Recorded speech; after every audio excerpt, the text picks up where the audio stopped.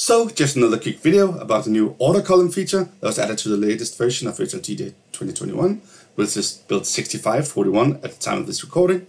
So what is this order column?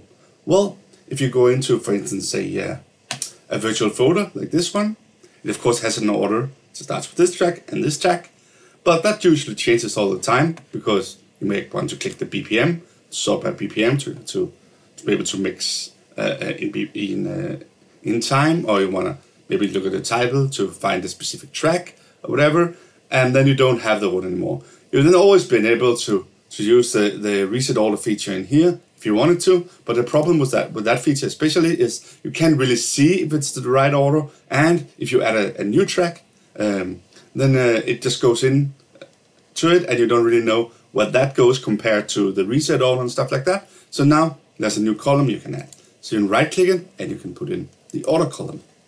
So as you can see now, this is not in order, and that's because I've already clicked uh, the title, so it's not in title order. But if I click the order column, then I get it, get it like it was when it was created, like this.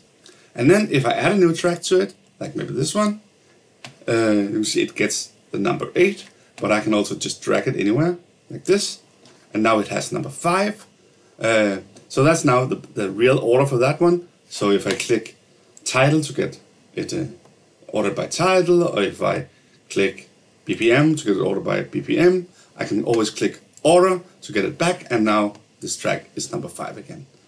So this was highly requested, a way to make sure that you can keep the ordering of your virtual folders and also your playlists. That's the other place where it works. So just to test that, I'm going to playlists up here.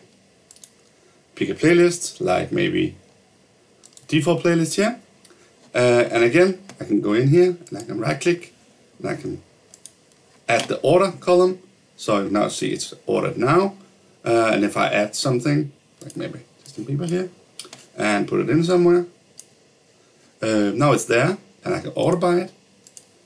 And I, uh, of course, I can click it twice uh, to reverse the order.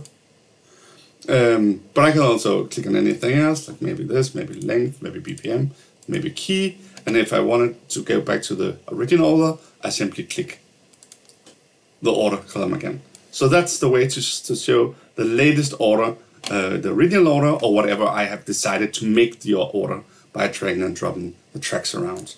So it's really to, to be able to get back to that even when you do the sorting to help you with your DJing.